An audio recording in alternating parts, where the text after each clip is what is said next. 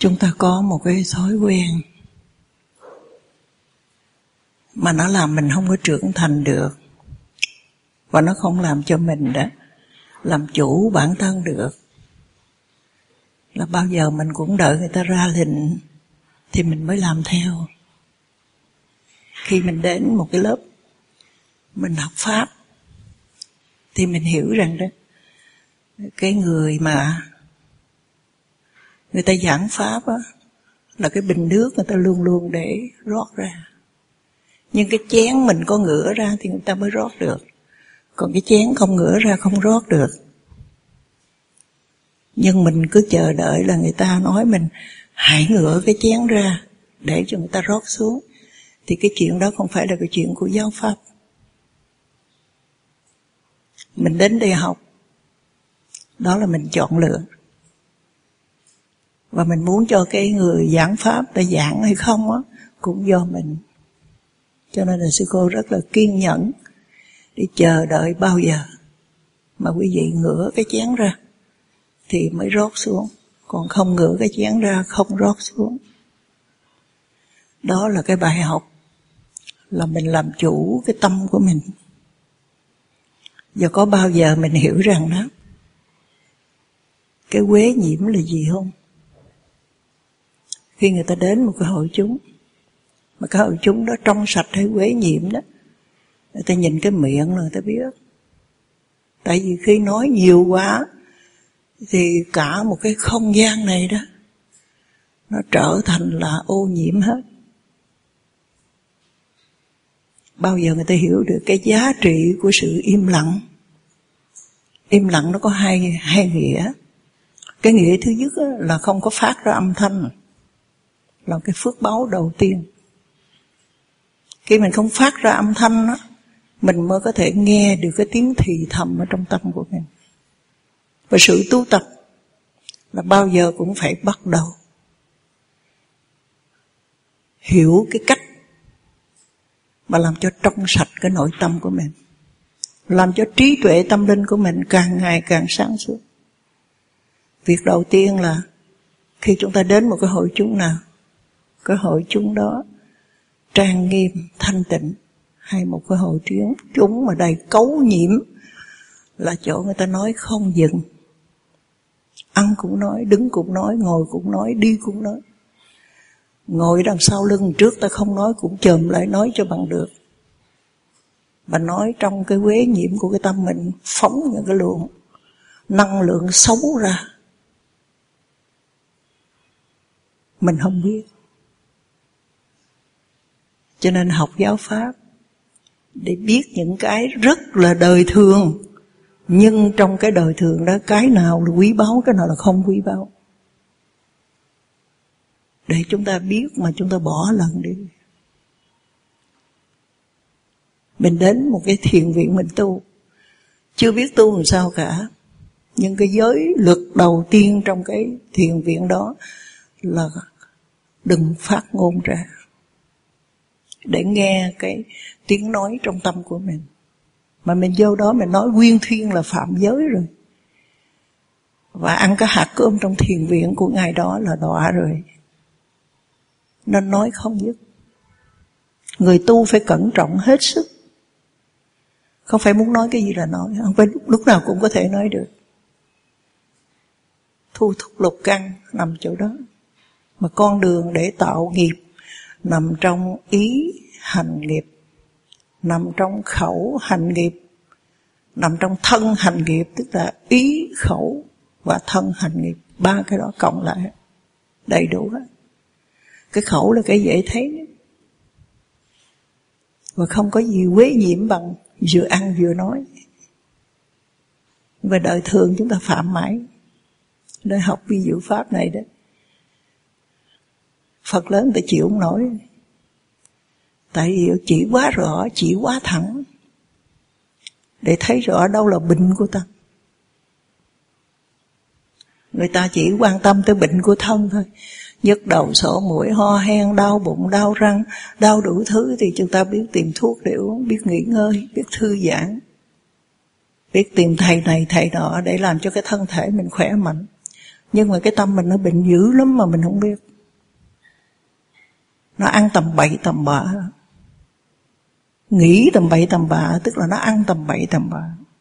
Nó nghe những điều tầm bậy, tầm bạ Là nó ăn tầm bậy, tầm bạ. Mình biết Bệnh trong tâm không biết. Cho nên phải tập Làm chủ Nơi mình Phải thu thúc.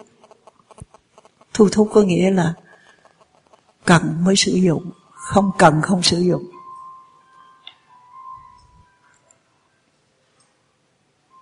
Không cần không sử dụng. Cho nên cái người đời đó, Người ta đi trong dục vọng Với cái người tu, Đi trong thu thúc. Đi trong dục vọng là người đời, Tâm phạm phu, Muốn cái gì làm cái đó. Muốn cái gì nói cái đó. Muốn sao được vậy là đời sống của người phàm phu. Còn đời sống của người tu Người tu đây nói tứ chúng của Đức Phật, Chứ không phải nói là người xuất gia. Nói luôn tứ chúng của Đức Phật. Người tu ở chỗ đó Là tất cả những gì mình muốn, Tất cả những gì mình làm, Mình đều biết kiểm soát. Biết kiểm soát. Cho phép làm hay không cho phép làm Là mình chủ động. Cho nên khi trẻ con Nó sống trong nhà đó Mẹ cho phép, ba cho phép, bà nội, bà ngoại cho phép mới làm. Lớn lên vào trong trường Thầy cô giáo cho phép mới làm Không cho phép không dám làm. Đó là đứa trẻ ngoan. À, tại vì nó Được đưa vào cái khuôn phép Và nó muốn ở trong khuôn phép đó. Nhưng mà khi cái khuôn phép đó Đã được hình thành rồi Thì bây giờ bản thân mình phải tự biết lấy Là mình phải thu thúc. Biết rõ phải thu thúc Và con Phật Thì Phật dạy thu thúc từ cái bước chân. Thu thúc từ cái ly nước cầm lên uống, từ cái miếng ăn đặt vào trong miệng, đều thu thúc hết. Huống chi cái suy nghĩ trong đầu phải kiểm soát. Những gì nó thì thầm trong đầu phải kiểm soát. Những gì nó dục giả cho mình phải ứng xử như thế này phải giải quyết như thế kia, phải cư xử như thế nọ, đều phải kiểm soát thì cái ngọn đèn này mới luôn luôn được thắp sáng trong tâm. Còn nếu không, chúng ta che lại hết và chúng ta đi trong cái ý muốn của mình. Đi trong cái ý muốn của mình. Bây giờ chúng ta đến một cái chùa, mà cái chùa nào á, mà tất cả những cái người ở trong chùa đều có tiền trong túi thì biết là chỗ đó rất khó tu. Chùa nó chỉ ở trong cái tủ của người trụ trì đó, cũng đã thấy khổ rồi. Huống chi túi người nào cũng có tiền hết là rất nguy, khó mà tu lắm. Tại sao vậy? Tại vì khi mình chưa phải là cái người xuất gia, mình người phạm phu sống ở đời trưa hai, ba giờ thèm ly kem thì đi mua ly kem ăn, đâu có tội lỗi gì đâu. Thèm muốn ly nước mía thì uống, đâu có tội lỗi gì đâu. Tội lỗi gì cái chuyện đó. Những người xuất gia đâu có được. Nhưng nếu mình có tiền, nhờ người ta mua được chứ. Có tiền muốn cái gì là không được. Bây giờ cái đôi dép tôi cũng dường đôi nào đi đôi đó. Còn không là phải mua một cái đôi dép mà nó, nói thật không phải là cho nó có mà mang mà thôi. Chứ còn nếu mình chọn lựa một cái đôi dép như đôi dép người ta đi đẹp đó là đã phạm giới rồi. Và mình có tiền mình mới chọn được vậy Không có tiền đâu có chọn được. Người tu sống bằng phước báu. Người đời sống bằng cái năng lực làm việc thu nhập kinh tế của mình mà sống. Cho nên đồng tiền ta làm trong tay. Cái hạnh phúc của người đời là cái hạnh phúc có làm ra tiền và dùng cái đồng tiền này theo ý muốn của mình. Đó là đời sống bình thường trong cái xã hội và đời sống của người phạm phu. Còn người tu, Tất cả giới luật chúng ta đều biết không có tiền trong túi. Ngày hôm nay Pháp phương tiện Bây giờ không lẽ mình ra mình đi xe buýt mà bây giờ ông có tiền trả làm sao cho nên phải có tiền, nhưng mà coi chừng cái đồng tiền đó cực kỳ nguy hiểm. Bởi vì sao? Nó không có thu thúc được. Tâm Tâm nhớ sư phụ Tâm Tâm nói à, hồi đi xuất gia 17 tuổi, mà từ Hà Tiên đi về Bà Rịa, mà thầy thầy sai đi về dưới đó là tại vì cứ ờ, vài tháng thì phải ờ, đổi cái ờ, tịnh xá để mà đi học hỏi tu tập thì thầy ờ, kêu đi vậy chứ còn thầy không có nói là cho đồng bạc nào ra xe hết. Rồi có khi thì à, hai cô đi ra thì cứ đứng quần quần ở ngoài cái bến xe đó. Người ta hỏi về đâu, nói dạ về bà rịa. Nói lên xe đi thì không có nói gì hết, đứng chỗ đó. Chừng nào ai biết thì nói, thôi sư cô lên xe để con trả tiền cho thì mới dám lên còn à, hoặc là cái người tài xế nào người ta biết ta nói thôi mấy sư cô cứ lên xe thì không sao tôi con không có tính tiền đâu. Thì lúc lên xe ta nói có hai sư cô đi đây nè có ai à, muốn cúng dường thì cúng dường đi còn không thì nhà xe chúng tôi thì sẽ cúng dường. Thì mới được. Còn đi một cái đoạn ngắn nào đó ví dụ năm mười cây số thì lội bộ. Đâu có dám mở miệng mà nói là à, bạch thầy thầy sai con đi từ hà tiên về bà rịa cho con chút tiền xe đâu có dám thầy cho cầm, không cho không cầm. Thì chắc bây giờ mà làm vậy đó, không có ai đi tu hết. Xe rước tận nơi. Thành ra cái cái việc mà chúng ta thu thúc lục căn đó, nó làm cho chúng ta có một cái lằn ranh giữa cái đời phàm phu và cái đời mà chúng ta đi vào cái con đường mà chúng ta làm chủ bản thân, chúng ta làm chủ suy nghĩ của mình. Và chúng ta chỉ sử dụng khi chúng ta cần chứ không phải sử dụng như chúng ta muốn. Sử dụng như chúng ta muốn thì chúng ta là người phàm phu. Mặc dù chúng ta có sức gia bao lâu, thì đó là cái tâm phàm phu, nó vẫn hoành hành trong cái đời sống nội tâm của chúng ta. Và đó là cái bệnh, nó sẽ che khuất cái trí tuệ về tâm linh. Cho nên cái gì cần thiết nhất chúng ta sử dụng.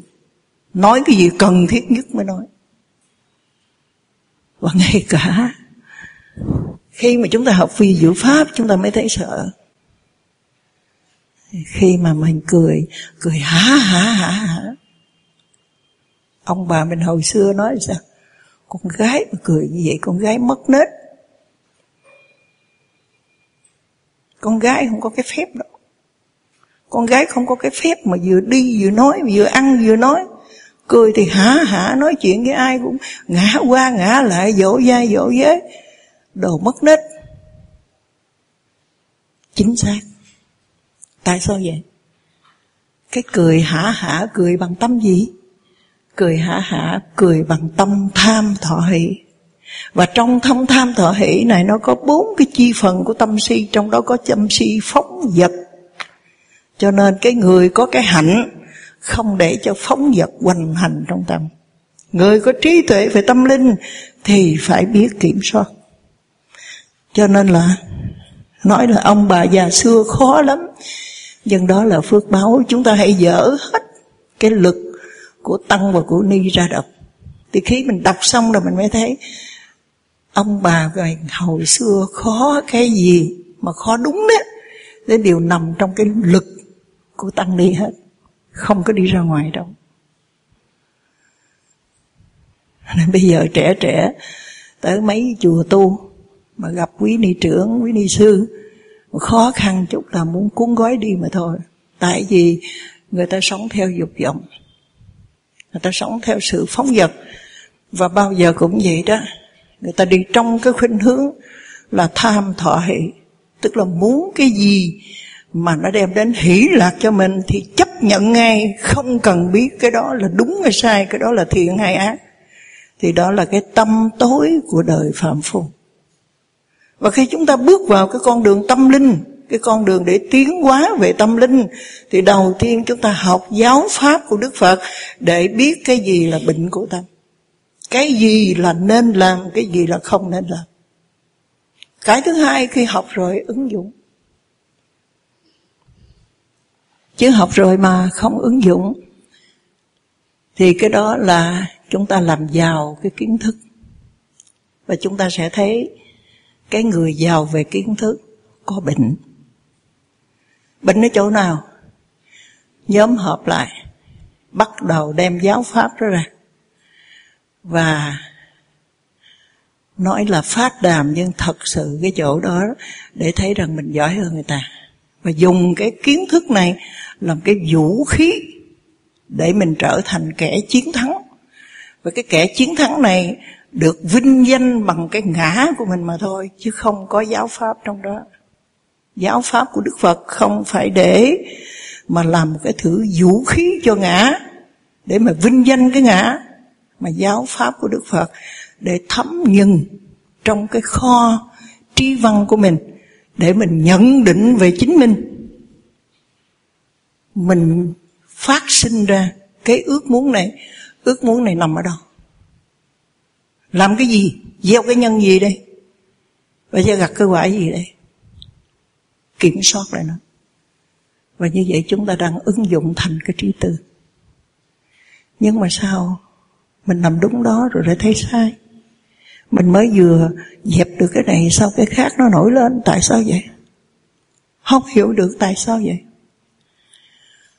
Tại vì nó yếu. Mặc dù nó có trí văn mặc dù nó có trí tư, nhưng nó yếu. Và đức phật nói, phải làm mạnh nó lên. Làm mạnh nó ở chỗ nào? Ở chỗ trong cái từ, nó gọi là tu tiến. Tu tiến nó có hai cấp bậc. Cấp bậc thứ nhất là tu thiền định. Cấp bậc thứ hai là tu thiện tuệ. Thiền định này có trước khi đức phật ra đời, có trong khi đức phật ra đời, có sau khi đức phật ra đời và cái đề mục của nó thì nó cực kỳ rộng rãi. Người có tôn giáo, có tín ngưỡng, hay không có tôn giáo, không có tín ngưỡng, mà nếu có cái đề mục, có cái phương pháp tu đúng, vẫn đắc thiền này. Đắc thiền sắc giới này. Nhưng mà lên tới thiền vô sắc giới thì nó bị khống chế trong bốn đề mục này. Thì đây là thiền định, để nó làm vững chãi lại là tại sao? Mình biết rằng là cái à, thức ăn mà mình thích đây thức ăn khoái khẩu đây mình thích đây đó là ăn nhiều nó bệnh đó. À, nhưng mà không biết tại sao nó cám dỗ vậy và có khi mình cũng phải đầu hàng nó. Mình cũng phải ăn mình đầu hàng nó. Mình hỏi tại sao vậy? Là vì cái sự hiểu biết của mình và cái năng lực cái năng lực để mà duy trì cái sự hiểu biết đó thành một cái mệnh lệnh mà cho cái tâm mình nó phải dừng lại tất cả những cái quế nhiễm đó mà nó theo thì nó yếu. Và chúng ta sẽ thấy ở nhà, mình nói ở nhà nha. Mà có những cái đứa nó nghịch ngợm, nó phá lắm. Má nó la, nó đến đổi mà cái miệng muốn kéo lên tới mang tay. À, tay thì dỗ bếp bếp vậy đó. chứ mà buông ra nó giận vậy. Nhưng mà ba nó chỉ cần ngó nó cái về là nó không dám cục cực, không biết gì hết bởi vì nó biết rằng má nó la la vậy thôi. Chứ còn à, có phạm cũng không có sao. Mà có quánh bếp bếp vậy chứ cũng không có đau. Buông ra cũng vậy thôi. Cho nên nó biết. Còn cái ông này là ông ba của nó đó. Ngó cái vậy mà không được cái là chết rồi. Đứng khoanh tay cái chỗ này là rụng rời luôn, chứ không phải giỡn đâu. Mà ông cho nhịn đói là ông cho nhịn đói thiệt á. Cho nên nó mới không dám. Nên là cái cái lực của cái người cha đó mạnh. Thì tâm của chúng ta cũng vậy. Khi chúng ta biết cái điều này sai, mà nó vẫn trở lại hoài, mà có khi chúng ta phải đầu hàng, chúng ta phải thua nó, là bởi vì cái năng lượng lành của chúng ta yếu. Mà cái năng lượng xấu của chúng ta quá mạnh, cho nên là nó cưỡng bức mình. Cũng như mình giận á, nói giận lên mình biết, thật chết rồi. Giận là quế nhiễm ở trong tâm rồi giận là đổ axit xuống cái đời sống nội tâm của mình rồi, không giận nữa. Nhưng mà nó phừng phừng phừng phừng phừng, nó vẫn lên. Rồi mình kiềm chế lại. Rồi chập nó vẫn nói ở trong cái tâm của mình dữ lắm. Thì mình biết là cái năng lượng lành mình yếu. Cho nên đức phật nói phải làm mạnh nó. Mạnh nó bằng những cái đề mục tu thiện định đây được mạnh nó chưa đủ. Chúng ta thấy cái người mạnh nha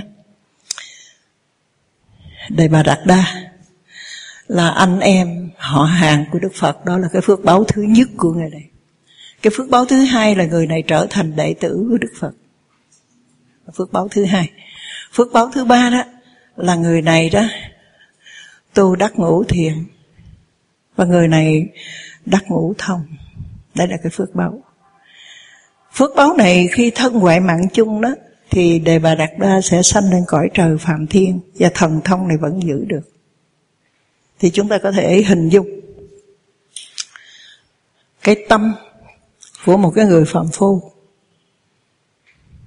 Đây là phần quế nhiễm thuộc về tham, sân và si. Đây là cái phần trong sạch nó thuộc về thiện và thiện trí.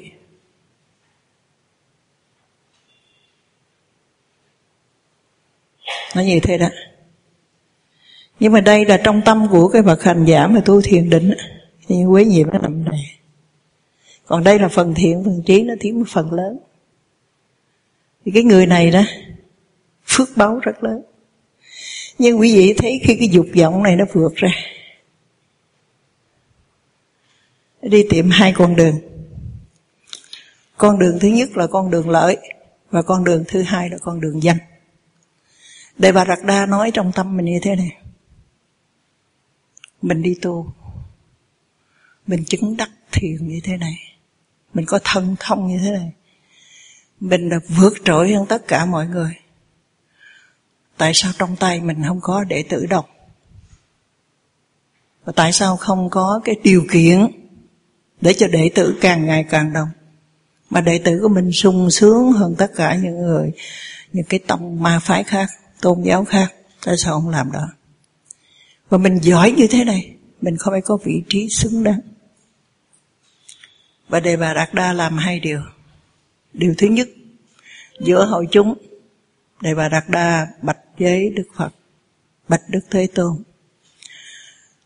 Nay thế tôn tuổi hạ cũng đã cao, mà việc của tăng đoàn thì bề bộn trăm điều. Việc nặng nhọc đó, Xin Thế Tôn để cho con gánh vác. Thì Đức Thế Tôn không có trả lời. Lần thứ hai cũng bạch y như vậy, Đức Thế Tôn không có trả lời. Lần thứ ba cũng bạch như vậy, Thì Đức Phật mời ra khỏi cái chỗ đó. Đề bà Đạt Đa đó, Bị xúc phạm trong cái ngã của mình. Mình giỏi như thế này, mình thành tựu như thế này. À, mình nói cái lời tử tế như thế này, gánh cái trọng trách để cho thầy của mình tuổi hạt đã cao, nay được có cái thì giờ thư thả hơn, để mà giảng pháp cho tứ chúng mình bị xúc phạm ở đây, không chịu đựng được nhất định ta phải có một cái hội chúng đông đảo. Nhất định cái ngôi này trong tay ta. Không ai có thể giỏi hơn ta được nữa cả. Cho nên mướn thích khách đến để giết đức thế tôn. Nhưng phước báu cho những người thích khách này, khi đến gặp đức thế tôn, quỳ xuống, bạch hết sự thật. Và đức phật giảng một thời pháp ngắn thì những người này đó nhập vào dòng thánh và trở thành tăng sĩ trong tăng đoàn của Đức Phật. Lần thứ hai mới kiếm một con voi. Con voi này đó vừa điên mà cho nó nhịn đói mà uống rượu say. Thì khi Đức Phật bưng cái bình bát đi đó, thả con voi đó ra. Lần này là phải nói là trăm phần trăm rồi, không thể nào có chuyện gì khác hơn ngoài cái chuyện là con voi này nó sẽ làm cái phận sự điên cuồng của nó nhưng mà khi nó gặp Đức Phật, nó quỳ xuống đảnh lễ. Tại sao vậy?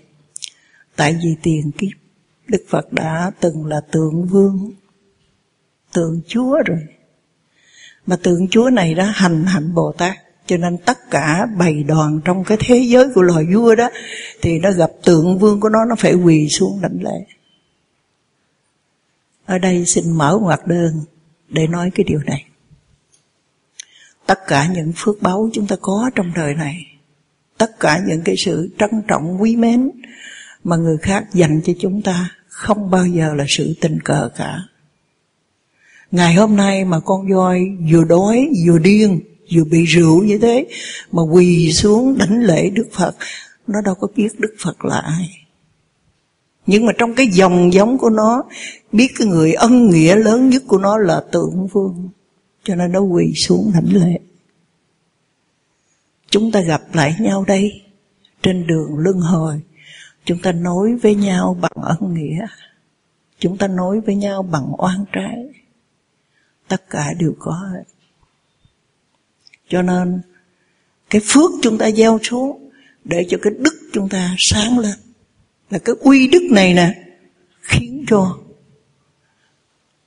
cái con voi khùng điên này, nó phải quỳ trước tượng vương. Đó là uy đức của tượng vương. Nó không biết đức phật. Cho nên trong vô vàng những cái hạnh bồ tát trên cái đường luân hồi, đó là chúng ta tạo phước đức.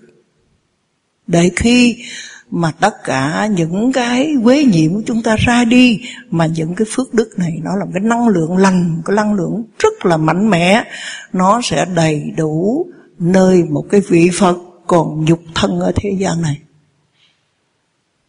Thì lần thứ hai để bà đạt đa thất bại. Và lần thứ ba, đích thân mình phải giải quyết cái chuyện này. Để thứ nhất, rửa cái mối nhục này. Điểm thứ hai, phải thay thế cái người này.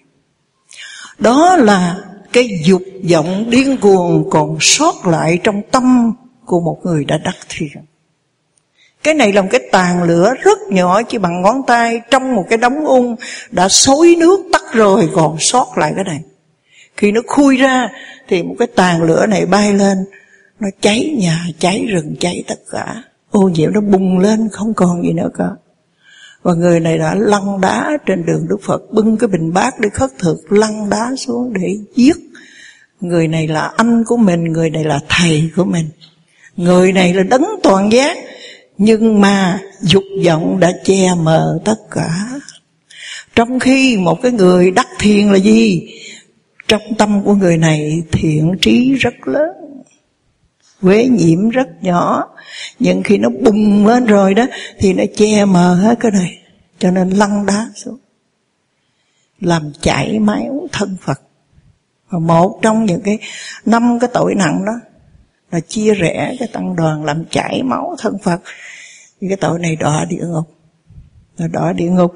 Cho đến giờ phút này chúng ta đang ngồi để mà nói cái câu chuyện này, thì đề bà đạt đa vẫn còn ở địa ngục. Việc thứ hai mà đề bà đạt đa đã làm, nó thuộc về một cái ác nghiệp mà nó nằm trong cái quý nhiễm mà muốn có lợi để bà Đạt Đa. Thấy a xà thế là một thái tử trẻ tuổi, háo thắng, non nớt trong cái suy nghĩ. Đề bà Đạt Đa mượn a xà thế là một cái công cụ để tạo cái lợi thế cho mình.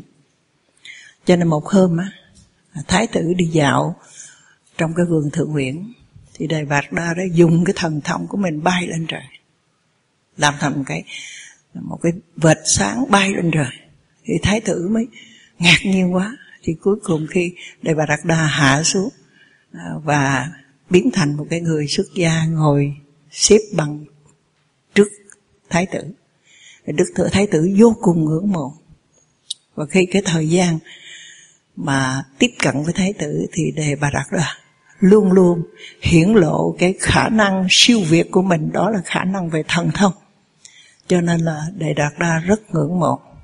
Và bây giờ đây dùng cái cái tâm tham mà cái bản chất của tâm tham là xảo quyệt và chiếm hữu để mà khơi dậy cái tâm tham ở trong tâm của đề bà đạt đà thì à, Đề Bà Đạt Đa mới nói với à, Thái tử A Xà Thế Ngài là một cái à, người trẻ Có sức khỏe Có tài năng Có nhiệt quyết Và đây là cái thời điểm tốt nhất Để cho Ngài có thể hiển lộ Tất cả cái à, cái cái năng lực tốt đẹp của một cái ông vua mà có thể à, tế thế an dân. Thời điểm tốt nhất. Nên nghĩ tới cái điều này. Thì à, a sở thế mới nói nhưng phụ dương còn đó đâu có được. Thì đây bà Đạt Đa mới nói rằng Thái tử có tin vào sức mạnh của tôi không? Tất cả những việc làm của Thái tử Đều có tôi đứng đằng sau lưng hết. Tôi sẽ lo liệu tất cả mọi thứ. Thái tử cứ việc hành xử đi. Thì chính Thái tử trở thành người thích khách, Đức vua. Nhưng Thái tử không biết rằng Cha của mình đó Tuy là một cái đức vua, nhưng về mặt tâm linh đã nhập vào dòng thánh thứ nhất rồi. Cho nên là khi cái người này mang một cái một cái trạng thái quế nhiễm là cái tâm sân cực kỳ mạnh, đen tối. Rồi khi đến một cái vị thánh như vậy đó, thì tự nhiên người này run rẩy cho nên mới quỳ xuống. Thì khi mà thấy cái cái cái cái cái sắc bất thường của thái tử thì đức vua mới hỏi à, con có cái điều gì bất an trong lòng vậy? Thì thái tử mới nói rằng là ờ, con rất muốn lên làm vua, bây giờ con không thể chờ đợi được nữa. Và cho nên con, hôm nay con vào đây là cái mục đích như thế. Thì đức vua mới nói rằng đâu có cần, con phải giết ta. Con chỉ cần nói, thì cha đây sẽ giúp cho con được toại nguyện. Ngày mai đây khi cha thiết triều, thì phụ dương sẽ nói với tất cả quần thần rằng, cái ngai vàng này sẽ trao lại cho con, và sẽ định ngày làm lễ đăng quang cho con. Thì ngày mai à, vua cha thiết triều và nói rằng sẽ truyền ngôi cho thái tử à, tất cả phải định cái ngày để mà đăng quang cho thái tử. Và chuyện đó làm ổn thỏa không có gì hết. Thì được một thời gian thì để bà Đạt Đà mới nói với Thái tử Bây giờ là vua Mới nói cái vị vua trẻ thế này. Thái thượng hoàng Tức là phụ vương của đức vua đó Làm cái người không những có tài mà có đức mà không những có tài có đức Mà lại là cái người có phước nữa. Cho nên cái người này sẽ sống rất là lâu. Và được cái à, sự ngưỡng mộ của à, không những là quần thần mà tất cả thần dân luôn nữa. Nhưng mà thái tử thì còn à, trẻ trung quá còn bồng bột.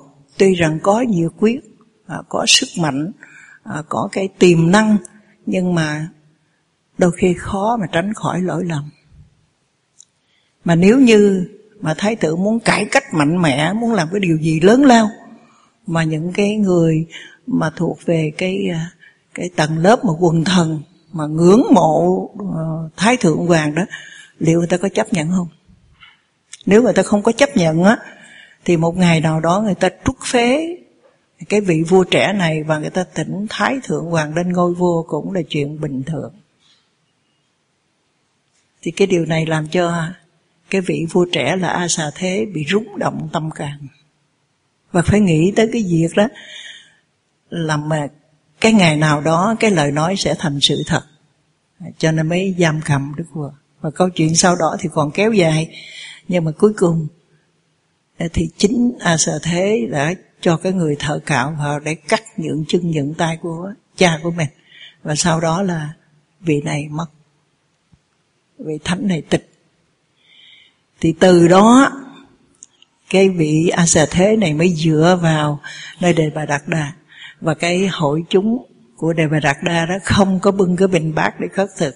Mà hàng ngày như vậy đó, là có hàng ngàn cái cổ xe đó chở tất cả những cái gì mà cái tăng đoàn này cần thiết đem lại hết. Và cái cách mà đề bà đạt đa đó cho đệ tử của mình đến tăng đoàn của đức phật để chiêu dụ à, những cái người trong tăng đoàn của Đức Phật về bên mình. Những người đó mới à, gặp những người tu sĩ bưng cái bình bát đi mới nói thế này. Mình đi tu á mình phải dành hết cái thời giờ để mình tu. Sáng mà bưng cái bằng bát đi cất thực như vậy nó hết cái buổi sáng rồi làm sao mà tu? Với rồi là à, có bữa thì người ta cúng dường nó đầy đủ có bữa là không đầy đủ thuốc men cũng vậy y áo cũng vậy tất cả mọi thứ à, cứ phải lệ thuộc người ta nhiều quá. À, trong khi cái tăng đoàn bên này đó là đức vua ủng hộ như vậy là à, chỉ cần mình thiếu một cái á, là thầy nói một cái là không có thiếu một cái gì hết. Và cái thời giờ thay vì mình đi bưng cái bình bát khất thực đó thì mình tu hành. Mình bệnh hoạn cái là có người chữa trị cho mình để tốt cho mình tu hành mình cần gì chút xíu không phải lo lắng rồi cũng để giữ cái tâm mà tu hành. À, tại sao có cái điều kiện tu tập tốt như vậy mà mình không đến? À, thì những cái gì mà trẻ trẻ đó à, thấy cái mồi cái mồi này nó quyến rũ quá nghe nó thuận cái lỗ tai quá cho nên kéo róc qua bên này. Đi theo cái tăng đoàn của đề bà đạt đà thì như vậy đề bạc đa muốn lợi và muốn dành vì thấy trong tâm của mình không? Cái khi nào mà tất cả những cái thứ đó nó phát sanh trong tâm của mình á, thì nó che mờ hết. Và đến khi mà nó sáng trở ra rồi đó, thì tất cả những cái phước duyên nó đã muộn màng đề bà đặt đa khi tỉnh ra, biết mình đã làm chuyện quá tội lỗi, suối cho một cái vị thái tử giết cha bản thân mình giết thầy của mình. Tội lỗi quá. Cho nên muốn đến sám hối với đức phật. Và khi cái đoàn tùy tùng này đến để xin sám hối đó, thì à, những người đệ tử của đức phật vào bạch với đức phật. Thì đức phật mới nói rằng là Đề Bà Rắc Đa không có duyên để gặp lại một Đức Phật nữa đâu. Nếu một người phạm phu nghe đó, thì ta sẽ nói, chắc Phật còn giận quá à. à. Cho nên không muốn gặp lại cái người đệ tử bất hiếu. Thưa quý vị, Phật đâu còn quế nhiễm mà giận. Nhưng Đức Phật nói theo nhân quả là cái người này không có đủ phước để gặp lại. Hồi nãy Tâm Tâm có nói với quý vị là phước báo sinh ra là anh em. Phước báo là đệ tử người này Phước báu là tu tập đã đắc thiền và có thần thông. Bây giờ cái duyên phước đó Tự mình đã đoạn rồi. Vì mình giết người ta mà Tự mình đã đoạn chứ không phải là Đức Phật đã đoạn Hai cái đó khác nhau. Thường thường trong cái uh, lý luận của mình Trong cái trong cái suy nghĩ của mình đó, là bao giờ cái người A này à, Người A này mà ở với người B này không được là do cái lỗi của người B. Đệ tử mà đến cái chùa đó mà ở không được là do lỗi của ông thầy đó. Chứ không phải do lỗi của người đó. Như vậy à, đệ tử rồi đây là bạc đa rồi giết Phật là do lỗi của Phật phải không? Cho nên khi Phật nói hết cái duyên rồi đó Thì mình nói chắc ông Phật còn giận Không phải đâu Duyên nó hết rồi cho nên Đề Bà Đạt Đa cùng với cái đoàn tùy tùng mình đó, à, đến tinh xá của Đức Phật. Thì khi đến thấy một cái ao, nước trong lắm. Thì đệ Bạc Ba mới nói với đệ tử của mình, ta muốn tắm sạch sẽ trước khi ta vào đảnh lễ thầy ta để sám hối. Thì những người đệ tử đó mới lo cho đệ Bạc Đa tắm rửa thay y áo đàng hoàng. Và sau khi là người đã sạch sẽ tinh tươm rồi Thì đệ Đạt Đa mới xuống kiệu mới thông thả đi bộ vào trong tinh xá để đảnh lễ thầy của mình biết cái tư cách làm học trò của mình, không có khiên cụ tới, không không có ngồi trên kiệu mà tới đó được, biết xuống kiệu. Nhưng mà vừa lên khỏi cái ao nước, hướng về cái tinh xã đi ba bước thì đất nứt ra và khép lại. Và cho đến ngày hôm nay thì đề bà đặt đa vẫn còn ở trong địa ngục. Duyên nó đã hết, phước nó đã hết rồi. Và cái quả nó trổ xanh trong hiện kiếp đó là cái quả mà đã làm chảy máu thân Phật. Cho nên đã đất đứt ra và khép lại. Cái người này không còn đủ duyên để đảnh lễ vị Phật nữa đâu. Không còn cái duyên phước đó. Vì vậy chúng ta thấy nó che đây. Huống chi mình chưa có đắc thiền mà. Thì cái việc mà mình để cho nó che lại vậy đó, thì cái chuyện thoái đọa là chuyện đương nhiên không có thể nói khác hơn một cái người mà đắc cái thiền này đó, nghĩa là chỉ cần cần tầng thứ nhất thôi, thì khi thân ngoại mạng chung cũng đã tái sanh lên cái à, cái cõi trời phạm thiên rồi. Huống chi mà đắc tới cái tận tiền thứ năm này, thì cái chuyện đó chắc chắn rồi. Nhưng mà khi cái bất thiện này nó bị che giấu lên, những cái pháp bất thiện xảy ra thì nó thoái đoạn cho nên chúng ta trong đời này, khi biết con đường tu mà không thu thúc lục căn người này đã thu thúc bao nhiêu lâu mới đắc thiền? Tại vì cái thiền định đó là ngày đêm an trú trong cái thiền đề mục của mình. Và nó tính theo năm, chứ nó không tính theo giờ. Quý vị thấy tổ đạt ma, chín năm diện bích. Chín năm nằm ngồi trong cái hang đá và chỉ nhìn vào trong cái vách núi với cái đề mục của mình thôi, chín năm liền. Và cái người hành giả tu thiền định á người ta có thể ngồi suốt mấy ngày liền. Mà như vậy, cái quế nhiễm này nó còn bung lên được. Huống chi người, mình người phàm phu, nó chỉ có 50 50 thôi, thì phút chốc là nó xóa đen, phút chốc là xóa đen, phút chốc là nó xóa đen. Thì cái chuyện thoái đọa là chuyện không thể nào không xảy ra.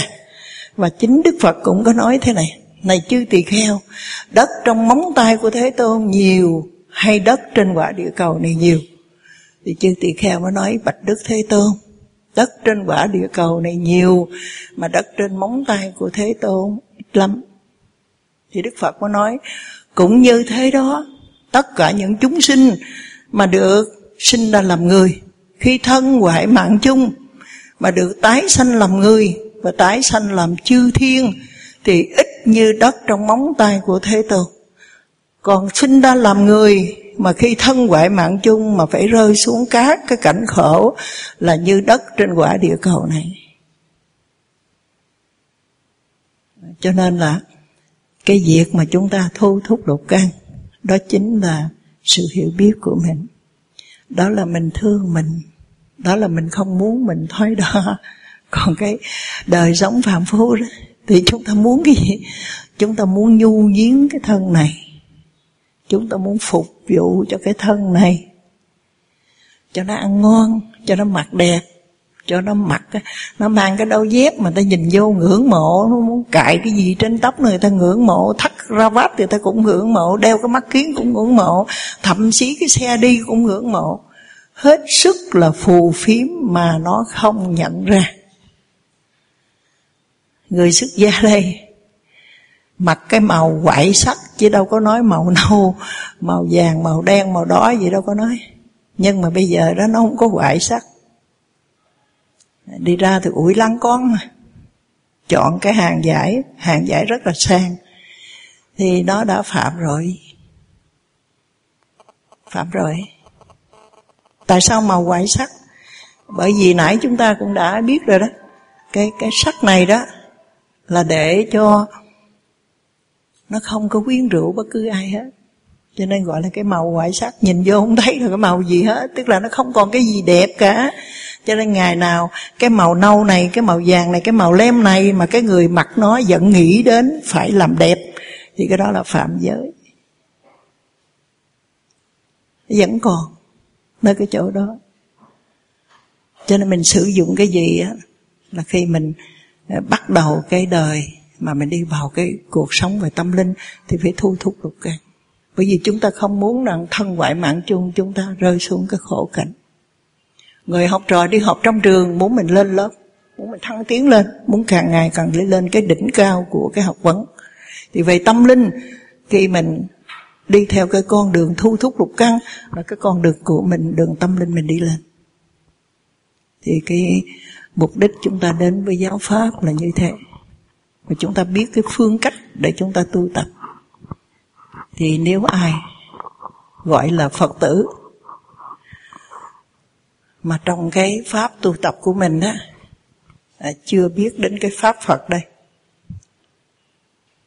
Cái con đường mà tu tập của cái thiền sắc giới và thiền vô sắc giới này đây, thì Đức Phật có thầy, có hai vị thầy Bà La Môn hướng dẫn để tu tập thiền sắc giới hướng dẫn để tu tập thiền vô sắc giới. Nhưng từ bờ sông đi liên thiền à, mà đi qua chỗ Bodhgaya để ngồi xuống với cái cội cây đó tu tập, thì cái khoảng đó không có thầy.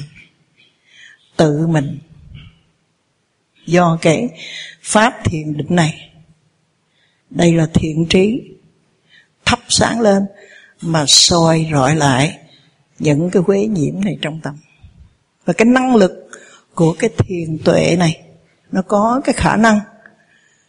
Nó làm cho xóa mất cái này. Xóa hết đây là tâm của vị phật. Nơi đây, trong tâm của vị phật có bát chánh đạo.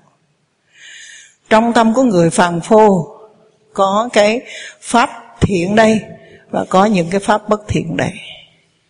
Có cả hai trong tâm của một người hành giả đắc thiền thì tất cả những quế nhiễm đã đã được thu gọn lại. À, giống như đã được coi như là nhốt nó lại khó mà đi ra lắm. Nhưng cái chuyện nó xúc chuồng thì nó vẫn là xúc chuồng thôi không có thể khác hơn được cả.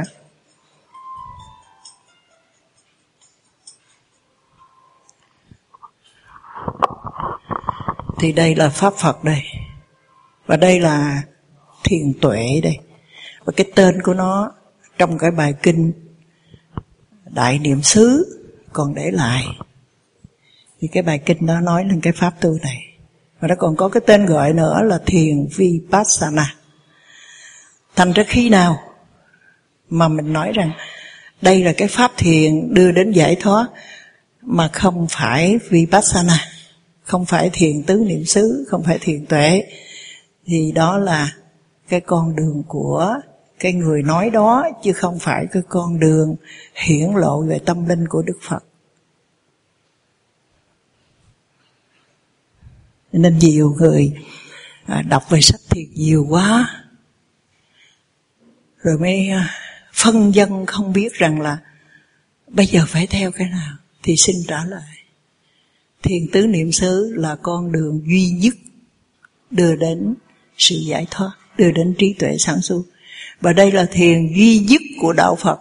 Không có tôn giáo nào có cả. Và không có đạo sĩ nào có được cả. Cho nên ngày nào mà chúng ta đọc sách thiền, chúng ta đi theo cái à, người hướng dẫn thiền của chúng ta, mà không có nói đến bài kinh tứ niệm xứ, thì cái đó là cái pháp thiền của người đó. Không phải cái pháp của phật. Đó chúng ta thấy như vậy đó. Bây giờ chúng ta sang tới cái phần thứ hai. Là cái phần gọi là cái ý nghĩa của cái tạng vi diệu pháp này. Cái chữ Dhamma này có nghĩa là giáo pháp. Cái chữ Dhamma này trong tam tạng kinh điển nó phong phú lắm đấy. Mai mốt ni sư tính sẽ giảng vi diệu pháp ở cái lớp này đó. Thì ni sư là cái người làm luận án tiến sĩ về cái chữ Dhamma này đây có một chữ thôi. Và truy trong tam tạng kinh điển ra thì chúng ta phải biết là để giảng về cái chữ này không đơn giản chút nào cả. Nhưng mà trong cái phạm vi này chúng ta hiểu đây là giáo pháp của Đức Phật là được rồi chữ Rama là vậy. Bây giờ chữ A Phi. Chữ A Phi này có nghĩa là à, nó là Ờ, rất là vi tế.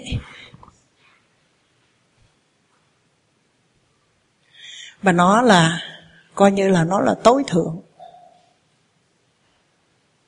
Nó là tối thắng. Cái pháp của nó là như thế. Nó là nó vi tế mà nó lại là thậm thâm, rất là sâu.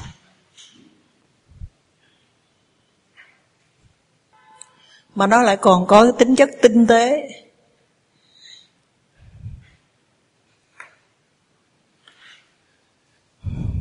Cái tâm của chúng ta đó là nó là cái gì đó không thể nào cân đo đong đếm được. Tức là nó không phải là cụ thể mà nó là trừu tưởng. Nó là một cái pháp mà mắt, tai, mũi, lưỡi, thân chúng ta không thể tiếp cận được. Và tất cả những gì thuộc phần tâm đó, thì chúng ta phải dùng cái thức thứ sáu, cái giác quan thứ sáu chúng ta. À, đó là phải dùng tâm mới biết được tâm. Đó là cái đặc điểm của nó. Nó thậm thâm phi diệu là bởi vì nó sâu lắm. Nó vừa cao, nó vừa sâu. Là bởi vì đó khi mình nghĩ tới đức phật. Là cái người mà coi như là tượng trưng cho cái trí tuệ toàn giác đó, thì mình biết rằng mình chỉ có ngưỡng mộ mà thôi cho nên nó cao vời vợi thôi. Nhưng mình nói nó thâm nó thầm thâm nó cực sâu xa. Là bởi vì nó ở chính trong cái đời sống nội tâm của mình. Và nó cứ đi từng lớp nó cứ đi từng lớp. Mình cứ mở ra mình cứ mở ra. Và càng mở ra càng thấy và giải không biết đến khi nào mà hết cả. Và khi mà đi vào cái tạng vi dụ pháp này đó, thì trong cái tam tạng kinh điển này à, không có một cái tạng nào mà có thể chi ly hơn cái tạng này cả. Và khi mà pháp trong vi diệu pháp giảng ra, thì tất cả những cái từ ngữ mà nằm trong tạng kinh và tạng lực đó, thì đều quy tụ về đây. Mình muốn hiểu cái tạng kinh, tạng lực cho đúng, thì phải hiểu cái tạng vi diệu pháp này vì thuật ngữ cơ bản nằm đây. À, pháp gốc nó nằm đây. Trong một cái bài kinh mà Phật giáo Đại thừa thường hay tụng đó, vô thượng thẩm thâm vi diệu pháp. Có những người không có biết cái tạng vi diệu pháp này đó, thì cứ hỏi vi diệu pháp nghĩa là gì? Thì người ta nói là pháp Phật vi diệu chứ không hiểu rằng đây là cái tên của cái tạng luật. Xin lỗi một cái tạng mà nó là linh hồn của cái giáo pháp của Đức Phật, là cái tạng Abhidhamma. Vô thượng thậm thâm, vi diệu pháp. Vô thượng tức là không có cái nào mà nó cao hơn được nữa. Và không có cái nào nó sâu hơn nữa. Vi diệu pháp là tối thượng. Vi diệu pháp là cực kỳ vi tế và tinh tế. Bởi vì nó nằm trong cái pháp trừu tượng là cái nội tâm chúng ta và nội tâm của mỗi người khác nhau. Chúng ta cứ thử nghĩ này. Đây là cái ngón tay của chúng ta. Khi chúng ta đi đến đâu chúng ta đều bắt lăn tay hai cái ngón tay này. Trên quả đất này có 5 tỷ người, 6 tỷ người, 7 tỷ người. Thì cái ngón tay nhỏ xíu như thế này mừng nào nó sẽ có 7 tỷ cấu tạo khác nhau. Bởi vì mỗi một người nó có những cái đặc trưng riêng về cái tính khí của mình. Nghĩa là có cái đặc trưng riêng về cái dòng nghiệp do mình tạo tác ra, cho nó đến in hình ở đây. Bây giờ một cách thứ hai nữa mà dễ nhìn thấy hơn là cái ngón tay này đó thì bây giờ khi mà mình đi đâu, làm chứng minh nhân dân ở trong nước hay đi ra nước ngoài này đó, thì chính người ta đặt một cái máy, người ta chụp và đặc biệt là ta chụp cái ờ, khuôn mặt mà nơi đó là rõ ràng nhất là cái con mắt của mình.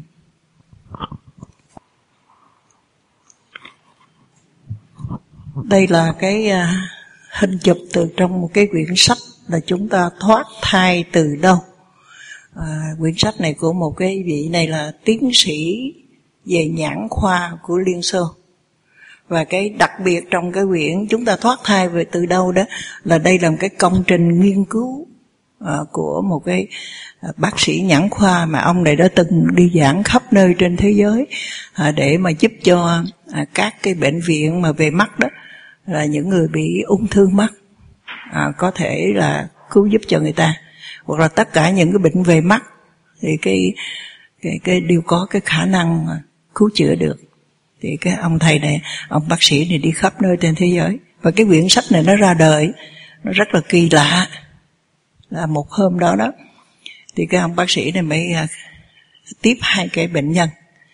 Là cái à, người mẹ và cái đứa con gái. À, đứa con gái độ chừng sáu bảy tuổi thôi. Còn cái người mẹ thì là có cái thân thể là phốt pháp thành ra so cái cái chiều cao chiều ngang trọng lượng của cái người mẹ với cái đứa nhỏ đó thì nó cách biệt dữ lắm. Nhưng mà khi mà à, cái đứa nhỏ nó lên cái ghế nó ngồi đó thì ông mới mở mắt ra ông chụp ông khám. Thì tới cái người mẹ ông cũng khám. Thì ông thấy rất là lạ.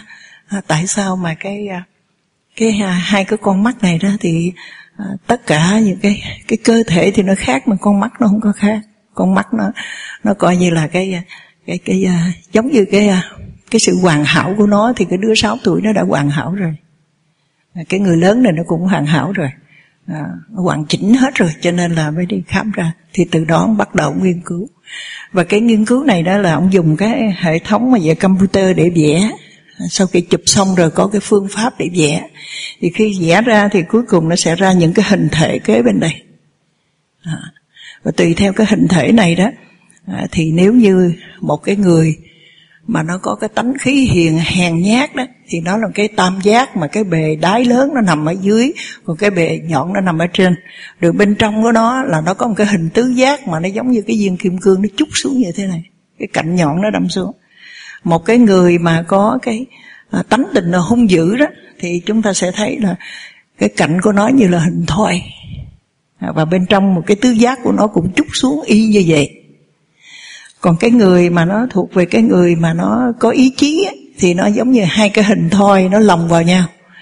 Và cái à, cái người mà nhân hậu á thì nó giống như là hai cái hình hình thoi mà hơi vuông nó lồng vào nhau. Và cái này đó thì à, hiện nay nói hiện nay chứ lâu rồi. Ở trong cái ngành mà à, cảnh sát hình sự với lại trong những cái ngân hàng mà lớn đó và hiện nay nó đang lan rộng khắp nơi đó là người ta đã sử dụng cái cách này. À, trong cái hình sự ta sử dụng cách này đó để người ta tìm ra thủ phạm rất là nhanh. Thí dụ như cái người chết cái lúc chết mới nói rằng à, à nó đã giết tôi chẳng hạn thì ta sẽ tìm ra tất cả những người tên A mà có liên quan hoặc là ở trong cái khu vực đó thì ta sẽ bắt hết rồi người ta mới loại dần ra. Bây giờ không có bắt bây giờ người ta sẽ tìm những cái người đó. Trong cái mối quan hệ đó và người ta mở ra ta coi cái lúc mà chụp hình như thế nào ta đo ra thì người ta sẽ tìm ra. Và ta chỉ cần tìm những cái đối tượng có cái hình thể của mắt như thế này vào người ta điều tra thì ra. Còn bây giờ đó, thì cái hồi xưa đó người ta người ta tuyển chọn nhân viên đó thì người ta tuyển chọn cái bằng cái bằng cấp, tuyển chọn bằng cái năng lực làm việc của người này ngày hôm nay người ta thấy rằng cái yếu tố này là nó không đủ. Mà cái yếu tố về cái cái cái à, cái gọi là cái đạo đức nơi cái người này mới là quan trọng. Và người ta dùng cái phương pháp á, là khi người, người ta chụp hình ra đó thì người ta sẽ chọn. Thí dụ như cái người này năng lực rất giỏi nhưng mà thuộc vào cái hạng người hung dữ hoặc hèn ác À, hoặc là những cái tính khí khác. Khi tuyển vào đó thì cái công ty này có thể sẽ đưa đến băng hoại. Chưa biết cái gì xảy ra. Còn cái người này tuy là cái năng lực nó thuộc về a trừ à, nhưng mà cái tánh tình đó là người trung hậu người đàng hoàng thì ta tuyển chọn cái người này. À, bởi vì à, tất cả những cái à, vụ cướp bóc mà tinh vi nhất không phải ở trong cái người dở ẹt đâu mà ở trong cái người rất giỏi mà nó thiếu cái đức độ. Người ta đã tìm ra cho nên là tất cả những cái nghiệp của mình á, nó in hình nơi cái sắc pháp này. Chúng ta đây tất cả đều có con mắt, nhưng mà cái cấu tạo thâm sâu của nó khác nhau, không giống nhau. Một cái vân tay như thế này hoàn toàn khác nhau, chỉ bàn tay cũng khác nhau. Không có người nào giống người nào cả. Và nó thay đổi theo cái tâm của mình. Nhưng mà những cái khung sườn quan trọng này nó không thay đổi dễ đâu. Không thay đổi dễ đâu. Đây là một cái bài học mà cho tất cả chúng ta đây. Đặc biệt là cho người nữ. Khi sống chung với một cái người người ta đánh đập mình người ta hành hạ mình người ta miệt thị mình. Cái người nữ tự lừa dối của mình nói rằng vì con vì cái gia đình vì phải dùng cái lòng tốt của mình để cảm hóa người khác. Cho nên mình phải chịu đựng. Ngày hôm nay cái bản này nó đưa ra rồi đó thì người nữ phải suy nghĩ lại. Sư cô xin nói một cái chuyện rất thật. Là cô này à, cha mẹ chỉ có mình cô thôi. Gia đình cô là thuộc về hàng trung trung thôi. Nhưng mà cha mẹ sống nề nếp. Và nhất là cái người mẹ đó, ăn cần ở kiệm. Cho nên khi cô à, à, học giỏi lắm và ngoan lắm, và cũng đã quy y sớm rồi, và cũng ở trong gia đình phật tử rồi, cho nên cha mẹ yên tâm để cho cô đi du học. Và cô nói với ba mẹ cô đó cô nói, con biết nhà mình nghèo, nhưng mà ba má đã chắc chiêu hết để cho con con không có phụ lòng ba má đâu. Và cha mẹ cũng tin tưởng cô như vậy. Khi mà cô ra nước ngoài, cô học đó, cô rất là đàng hoàng, chỉ biết học mà thôi, và giữ đúng cái lời hứa với cha mẹ mình. Thì cô học được hai năm, thì có một cái cậu đã đi theo cô. Thì những người bạn đó đều nói rằng, hãy cẩn thận vì đây là cái người đó, nổi tiếng, là một người xấu, không có nên tiếp cận. Cô nói người tốt hay người xấu gì đó cô cũng không có tiếp cận, bởi vì trong lòng của cô chỉ muốn học cho nó xong, rồi là giữ đúng cái lời hứa với cha mẹ, rồi tiếp theo đó thì gia đình cô sẽ bàn bạc như thế nào, cô sẽ làm như thế đó. Còn cái chuyện tình cảm bây giờ là cô không có dính dáng vô, cho nên là các bạn yên tâm. Ờ, thì cậu này cứ, cô này đi thì cứ à, trong trường nó cứ lẻo đẻo theo sau, thì cô này sợ lắm. Thì cái bữa hôm đó là cậu này mới chặn chặn cô này lại và nói thế này. Em à em đừng có sợ anh. Mặc dù em sợ là rất đúng bởi vì anh không phải là con người, anh là con quỷ. Một mình anh đó tàn hại không biết bao nhiêu đời các cái cô gái. Và kể cả phá thai anh cũng không có từ bỏ đâu. Thành ra anh là con quỷ. Em không có không có muốn tiếp xúc với anh là đúng. Nhưng anh nói thật tại sao anh cứ lẻo đẻo theo em? Là bởi vì khi mà anh nhìn thấy em đó thì anh nhìn thấy một cái sự thánh thiện. Và nó làm cho những cái dục vọng ở trong cái lòng của anh đó, nó dịu lại. Cho nên hôm nay anh xin phép em là nếu em đi đâu mà có anh đi theo sau, đừng sợ là anh hại em, mà phải để cho anh được nhìn thấy em như vậy. Để anh dần dần, anh có thể trở thành một con người, chứ anh không phải trở thành một cái con quỷ nữa. Thì cô này nghe xong đó là cô bớt sợ. Nhưng về cô suy nghĩ thế này. Là phật tử, mình đã có năm giới rồi. Và mình sống tốt đẹp như vậy. Thì chắc đúng như anh này nói đó. Cái sự tốt đẹp của mình cũng đã có cái ảnh hưởng tốt tới người đó. Cho nên trong lòng thấy vui vui. Và ông này cứ tiếp tục như vậy, làm thinh đi theo vậy. Rồi bẵng đi một thời gian không thấy tới. Và sau đó vẫn tiếp tục như vậy. Thì cô này mới hỏi, sao lâu quá không thấy anh? Thì ông không có trả lời. Thì cô này hỏi nữa ông ấy nói rất là ngại khi nói với em. Là tại anh vừa đi học, vừa đi làm. Rồi cái khi mà anh bị một cái tai nạn nhỏ thôi, thì à, cái tiền bồi thường hết, không có tiền đổ xăng để đi. Cho nên là anh phải nghỉ học thời gian, bây giờ mới có tiền đổ xăng mới đi nữa thì cứ vậy, rồi anh tới rồi anh vắng, bởi vì mục đích của anh chàng này không phải để đi học mà để làm cái chuyện rồ dại của mình. Thì cô này à, khi thấy anh vắng hai ba bữa thì hỏi anh hết tiền đổ xăng, phải không? Thôi đây nè, chia cho anh một chút để anh đổ xăng mà đi học, chứ không nên như vậy. Thì cậu này từ chối. Thì cô này nói không sao. Đây là một chút xíu đi đổ xăng thôi mà anh đừng có ngại, miễn mà anh học đàng hoàng thôi. Chứ còn nghĩ học như thế này hoài thì nó đâu có cái tương lai thì cậu này mới rụt rè mới nhận cái tiền đó. Rồi dần dần nó thành ra cái thói quen. À, cho đến hơn một năm sau thì một hôm đó cậu này trở vào gặp cô này và nói em anh rất là cảm ơn em bởi vì à, nhờ hai chục ba chục tiền em cho đổ xăng mạnh đi học được. Rồi bây giờ anh mới tìm được cái chỗ làm mới à, cái lương nó cao hơn bữa nay là anh à, giàu đó. Anh mời mới đi ăn cơm được không? Thì cô này nói không. Em còn phải học nữa chứ. Thì anh này buồn lắm. Anh này nói chẳng lẽ em giúp anh như vậy mà bây giờ anh chỉ có một chút xíu để mà chia sẻ với em mà em từ chối sao? Thì cô này nói à, nhưng mà à, lựa cái quán ăn nào nó đơn giản chút với ít thời giờ chút thì à, em đi chứ còn nếu không là không đi. Thì cậu này làm đúng như vậy. Rồi cái chuyện đó nó cứ thỉnh thoảng thỉnh thoảng vậy. Cho đến khi một hôm đó thì cậu này nói đây là cái ngày lễ. Tại sao mình không đi chơi một vòng?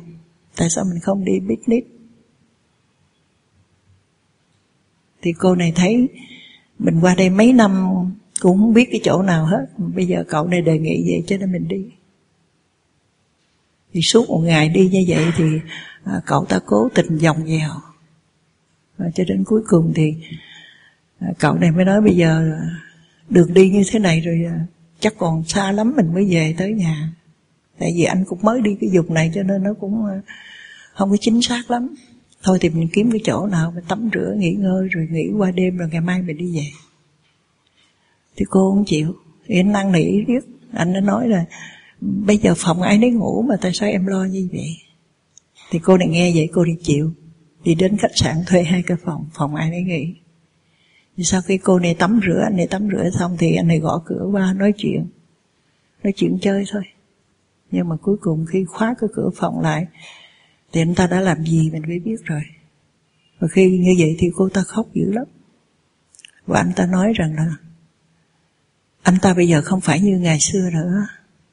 Và cho nên bây giờ anh ta cam kết, anh ta hứa rằng là anh ta sẽ cưới cô này và anh ta sẽ học hành đàng hoàng để mà cho xứng đáng với cô ấy.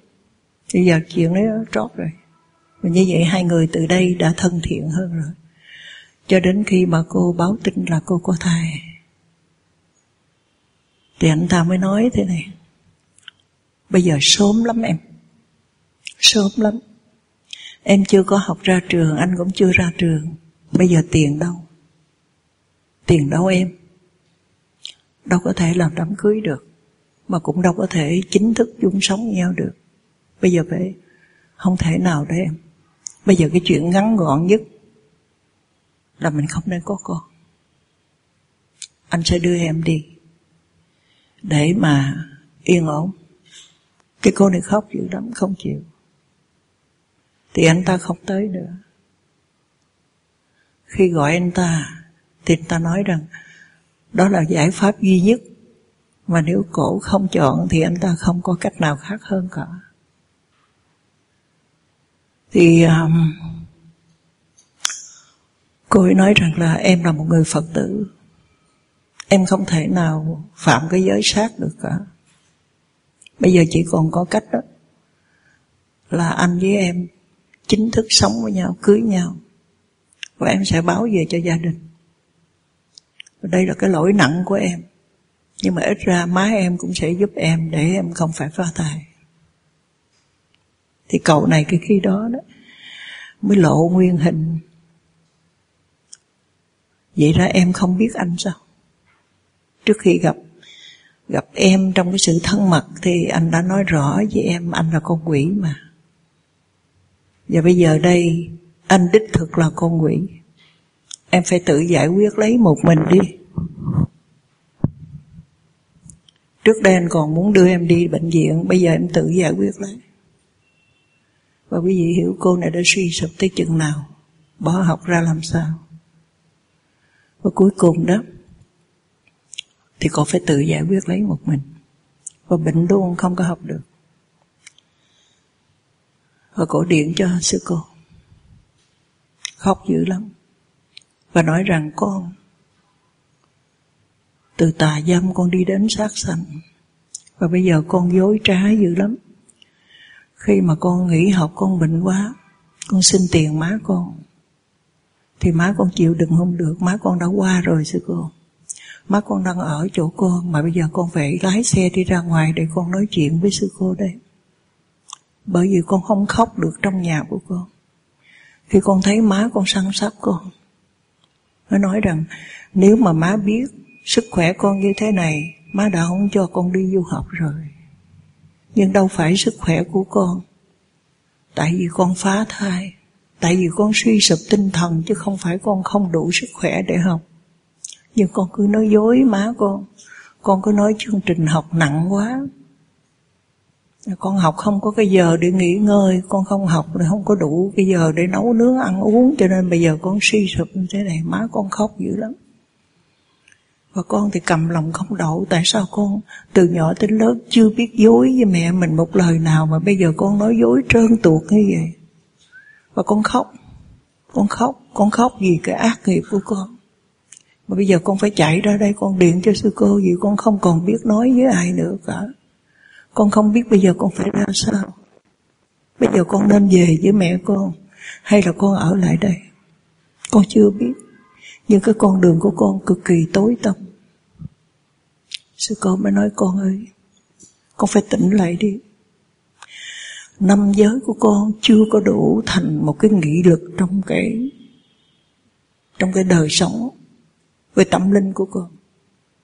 Nhưng con cứ nghĩ rằng cái sự trong sạch của con, cái sự đàng hoàng đứng đắn của con, cái sự tốt lành của con có thể cảm hóa người khác. Không đâu. Không đâu Như nãy Tập có nói với quý vị Một cái chén nó ngửa ra đó Thì người ta mới rót được Còn cái chén mà nó úp lại Nó không có thể rót được Không có cảm hóa được đâu Tại vì khi người ta chung sống với mình đó mà nó trở thành là cái oan trái rồi.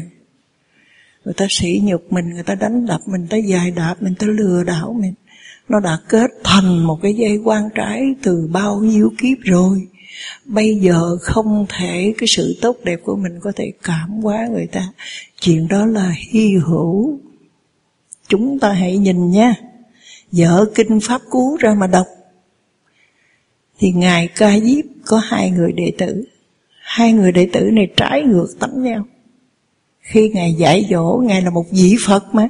Ngài dạy dỗ thì nó biến cái lời dạy dỗ đó thành ra căm thù. Cho nên chính đệ tử Ngài Ca Diếp đã đập nát đồ của Ngài Khi Ngài đi khất thực. Rồi nó chưa cái vừa ý đó, Nó đốt luôn cái liễu cốc của Ngài. Một vị Phật dùng cái lời lẽ từ bi và trí tuệ của mình đó, để nhắc nhở đệ tử của mình mà nó còn thù hận đến như vậy. Hướng chi mình là cái người mà bị người ta miệt thị, người ta đánh đập, người ta dài xéo, người ta lừa dối Mà mình nghĩ rằng mình có thể cảm hóa được người ta Thì cái đó chỉ là cái tâm tham luyến ái của mình đó Nó lừa đảo chính mình mà thôi. Cho nên khi chúng ta học vi dụ Pháp Chúng ta sẽ thấy tất cả những cái tâm mà nó xuất hiện trong cái đời sống chúng ta đó, Nó hoạt động có tính chất quy luật. Và bản chất của nó khi nó xuất hiện như thế nào, Nó rõ ràng như thế đó. Sư cô nói, con ơi, Một cái chút tốt đẹp Đời con Khi mà nó đi lệch một chút xíu thôi, Nó chính thành là cái niềm hãnh diện của con. Và cái hãnh diện đó, Con có biết nó tiềm ẩn trong đó là gì không? Nó tiềm ẩn là cái ngã mạng của mình. Người ta tôn sùng mình như một thánh nữ, Như một thiên thần, Để người ta nương tựa vào đó. Nhưng thật sự ra, Người ta muốn bẻ cái quả này. Nhưng mà bàn tay của ác quỷ Mà thò ra không bẻ được, Cho nên cái bàn tay này nó phải bọc nhung, Nó phải mềm mại. Và đến lúc là nó, nó, nó ngắt một cái Thì cái móng tay nó thò ra Nó bẻ cái rắc là xong. Nó hiện nguyên hình là như thế. Và còn một điều nữa Chúng ta phải nói với trong tâm của mình đó. Tất cả những cái pháp bất thiện trong cái đời sống nội tâm của mình, Chính là ác quỷ trong tâm của mình, Nó sẽ bẻ nát cái đời sống tâm linh của mình Và nó sẽ vui dập mình xuống những cái cảnh khổ. Đừng tưởng rằng những người khác vui dập cuộc đời của ta, Nhưng chính những cái bất thiện trong tâm của ta, những cái luyến ái ngu muội của mình, sự khờ dại của mình, cái sự ngã mạn rỗng tết của mình, đã quỷ hoại cái đời của mình mà mình không biết vì chúng ta sinh ra trong cái thế gian này, cha mẹ chúng ta chỉ dạy cho mình ăn hiền ở lành, giữ tư cách con người, ráng học hành, ráng có nghề nghiệp, ráng sống nhân nghĩa với nhau. Ra xã hội thì người ta dạy mình phải tôn trọng luật pháp quốc gia, phải sống đúng đắn một người công dân. Nhưng chưa có ai dạy cho chúng ta hiểu rằng trong tâm chúng ta có gì. Và không ai nói với ta, chính ta là kẻ lừa dối mình. Chúng ta có tin không? Chúng ta có biết không? Chúng ta có thấy không? Và khi chúng ta thấy, tất cả đã muộn mà. Sư cô nói, con ơi, con tự lừa dối con. Con tưởng những cái năm tháng con là phật tử. Những cái năm tháng con sống như một cái bút măng phơi phới trong cái gia đình của con, trong cái tình yêu thương của cha mẹ con, trong cái hạnh lành của con, là con có thể đủ sức để con cảm hóa một con quỷ. Không đâu. Cái con quỷ này nó biết cái phần yếu đuối của con. Nó biết cái phần quế nhiễm của con. Bởi vì tất cả quỷ nó sẽ câu thông trong cái quỷ ở trong tâm của mình, nó câu thông với nhau làm sao mà mình lại không muốn mình có một chút cái niềm vui? Làm sao mình lại không muốn? Làm sao mình lại không có một chút hạnh diện? Một chút xíu mà thôi, có chứ. Nhưng mà nó âm ỉ, nó phát lên. Một chút xíu đó như là một cái đốm rất là nhỏ mà khi nó loan lớn lên là mình không thấy nữa. Nếu như cái ngày, cái giờ mà nó bày hát bóp năng này rồi đó, mình đủ tỉnh để mình rút chân ra đó, thì nó không có cái thai bào này. Và nó không có cái ác nghiệp của sự sát sanh này. Nó không có cái sự dẫm đạp tiếp theo. Và nó không có cái mà nó biến mình thành một cái đứa con bất khiếu và lừa dối. Nó không đi tiếp cái đoạn đường đó. Cho nên khi mà người ta đó khi người ta đã mang cái đôi giày đẹp quá, người ta đã lỡ dẫm xuống cái bùn rồi. Người ta không đủ can đảm rút lên để rửa cho sạch, mà người ta đặt xuống một chân nữa cho nó đỡ phải lo nghĩ.